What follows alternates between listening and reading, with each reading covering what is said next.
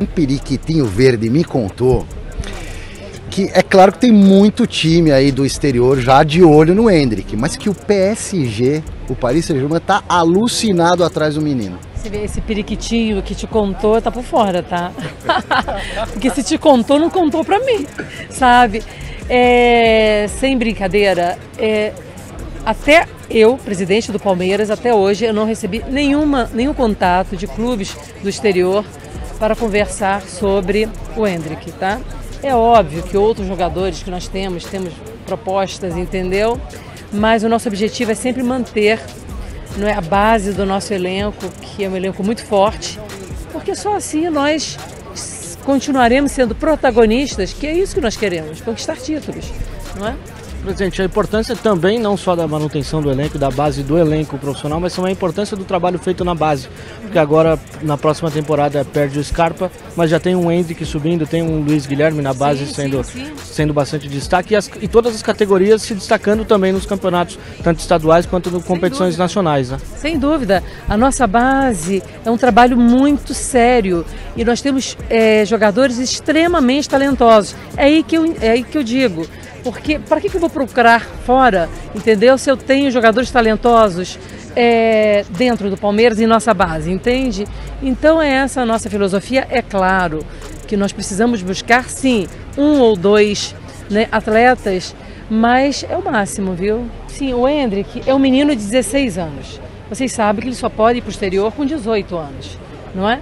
Então a gente trata com muita tranquilidade, tem que tomar muito cuidado com isso, gente. Ele é um menino extremamente talentoso, entende? Então, nós temos todo o aparato dentro do Palmeiras para cuidar do menino, para que ele desenvolva cada vez mais o talento dele, mas com muito critério, com muita responsabilidade, sempre lembrando, ele é um menino, sabe? Então, ele vai ter as oportunidades e vai ter todas as oportunidades para mostrar o talento dele no Brasil e no mundo, eu não tenho dúvida disso. A satisfação de ver ele surgindo assim. É é? Maravilhoso, é? é lindo isso. Mas o Hendrick, mas eu, nós temos outros meninos também muito talentosos, sabe? E saber que o Palmeiras está contribuindo para o desenvolvimento desses meninos é um orgulho muito grande. Por isso que é, é, é, o futebol traz esse prazer para gente, da gente desenvolver esses meninos para o Brasil e para o mundo. Ele só pode sair quando completar 18 anos, né, pela legislação. Mas isso não impede do Palmeiras fazer algum tipo de acerto com algum não. clube, né? A senhora é, viabilizaria se fosse de interesse? De, depende, de, tudo depende, sabe? Tem que ser do interesse do clube e do interesse do atleta, entende? Mas isso eu estou tratando com extremo cuidado e com muita paciência. Eu não tenho pressa absolutamente nenhuma de assinar qualquer contrato de negociação do Hendrick. Falasse um pouquinho do planejamento de 2023, o Abel falou isso numa entrevista coletiva, Sim.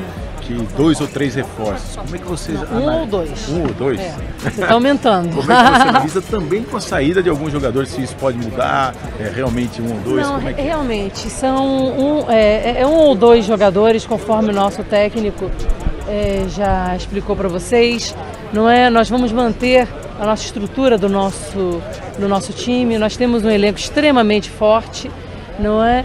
Já é, é, é, é ambientado e é, é, é nisso que nós vamos nos pautar. Não são grandes alterações não que vão ser feitas.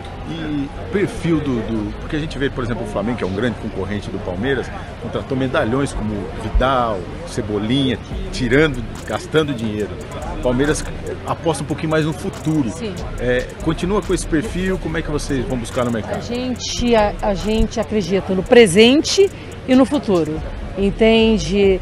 A nossa ideia é sempre de investirmos em atletas jovens, não é para que nos traga performance esportiva, e que também no futuro não é retorno financeiro, mas a nossa principal, nosso principal objetivo é performance esportiva, mas com jogadores jovens. O torcedor do Palmeiras já está vivendo uma espécie de um luto pela saída do Scarpa, principalmente hum. por conta do destaque na temporada. Mas eu queria falar de, uma, de um outro cara que o torcedor não pode nem sonhar em perder, que é o Abel Ferreira. Já diminuiu o assédio em cima do Abel Ferreira? Tem mais algum clube que buscou o Abel Ferreira? Para 2023 está tranquila quanto à permanência dele? Olha, o Abel, eu tenho certeza absoluta que ele está muito feliz no Palmeiras, tá? É, e, e o Palmeiras está extremamente feliz com o Abel. Eu não tenho preocupação absolutamente nenhuma com relação ao nosso técnico, porque nós temos contrato até 2024 e eu pretendo que o Abel fique por muito, muito tempo no Palmeiras.